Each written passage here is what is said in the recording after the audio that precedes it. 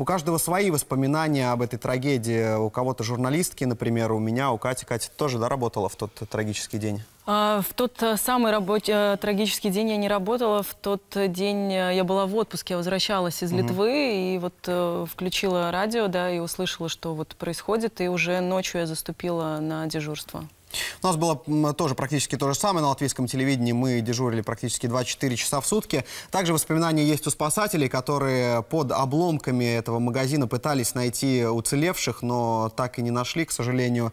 Иманс Бурви сегодня с близкими отправится на кладбище в Болдера. В тот трагический день он потерял сына. Репортаж Анастасии Спеловой.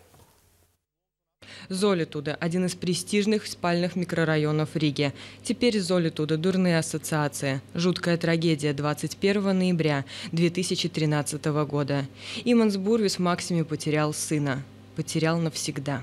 Для всех родственников шок был, по сути, от того, что погибли, непонятно, как это могло случиться, боль, э, ужас. Ну, это все нормальное состояние души в ненормальных условиях. Люди тут просто ходили, пацаны, э, на ломаном латышском или, наоборот, на ломаном русском искали, кому помочь. Тут, э, когда дети за свои деньги покупают напитки, что-нибудь такое, что прийти видеть, что люди в прострации, что надо им просто помочь, У каждого свои воспоминания о трагедии и свои вопросы, на которые пока так и нет ответа. когда приехал президент страны, который, наверное, единственный сказал то, чего надо было всем. Надо менять систему. То есть вопрос не технического свойства, вопрос именно политического, неправильного настроя общества, неправильного настроя на наше понятие бизнес превыше всего, на наше понятие, что это ничего лишнего, только бизнес.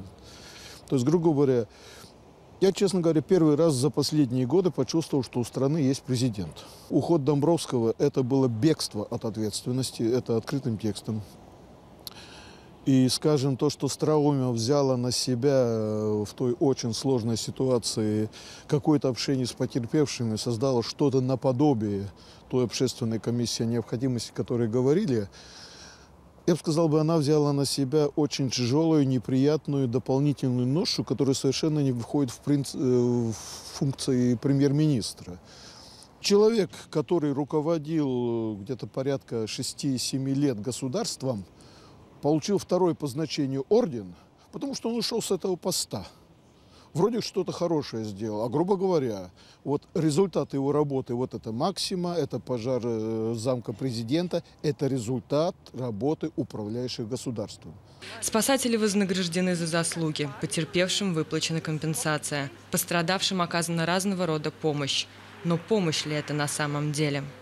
Я очень рад, что государство не забыло спасателей, наградило там их по разным категориям. В денежном выражении помогали. Я согласен, что эта помощь и нужна, но это не дают. Это какие-то крохи возвращают, потому что все люди, которые получили вот какую-то вот эту помощь от государства, они платили э, налоги за то, чтобы не было этого несчастья. Государство, вернее, люди, управляющие государством, с этим не справились. У каждого своя вина, за это каждый понесет свое наказание.